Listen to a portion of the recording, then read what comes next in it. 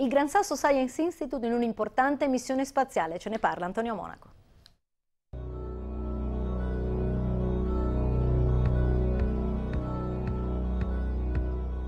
La missione spaziale Dampe ha rivelato proprietà finora sconosciute dai raggi cosmici galattici, particelle subatomiche provenienti dallo spazio che colpiscono la Terra a un ritmo incessante, alcune centinaia al secondo per ogni metro quadrato di superficie a livello del mare. Alla scoperta ha contribuito anche il Gran Sasso Science Institute con un gruppo di ricercatori membri della collaborazione internazionale.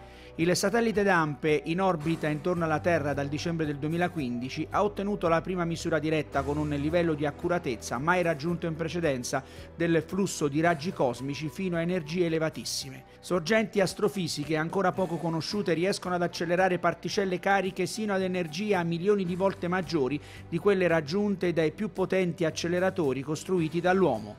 Sentiamo Ivan Demitri, responsabile del gruppo Dampe al Gran Sasso Science Institute.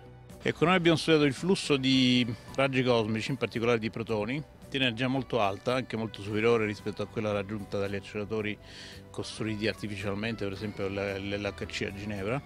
Abbiamo visto che c'è un brusco calo del flusso di queste particelle a una certa energia molto elevata, cosa in attesa che diciamo, richiederà un lavoro teorico sui meccanismi di accelerazione di queste particelle con l'energia. Ci sono problemi per il genere umano? No, assolutamente no, questa è una radiazione che esiste da sempre, la vita si è sviluppata sul nostro pianeta in queste condizioni, fortunatamente l'atmosfera e anche il campo magnetico terrestre ci proteggono.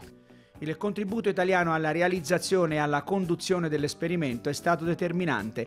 Gli scienziati italiani hanno collaborato con i colleghi cinesi e svizzeri nella progettazione, costruzione e messa a punto dell'apparato ed hanno coordinato i test dei rilevatori sia di laboratorio sia su fasci di protoni, elettronici e ioni presso gli acceleratori di CERN a Ginevra.